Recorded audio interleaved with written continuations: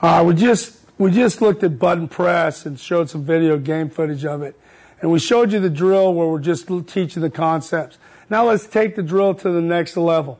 Let's let's read whether it's a stalk block or a pass.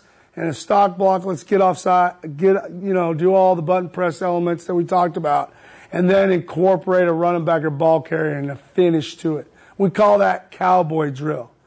How we set it up is you have uh, the corner, all right, you have a receiver, and we have a ball carrier, all right? And that receiver is going to run at this corner, shimmy down, and stalk block him with the ball carrier coming, or we'll mix it up so that corner doesn't cheat. You'll see it on video clip. He's going to run around, okay, where that corner will have to open up. Just to keep him a little, I like to throw that element in just to keep them a little honest with this drill so they're not just coming flying downhill right now and cheating the drill. I don't want drill players.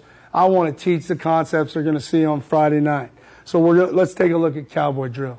Here's cowboy drill we just drew up and talked about it, adding that tackle element to our button press technique.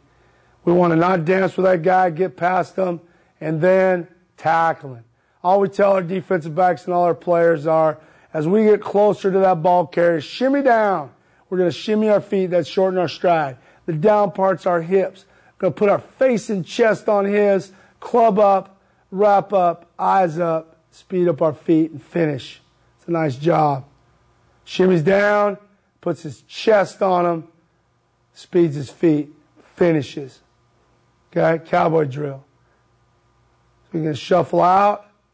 We're going to read that release. He's throttling down. Button press, violent hands.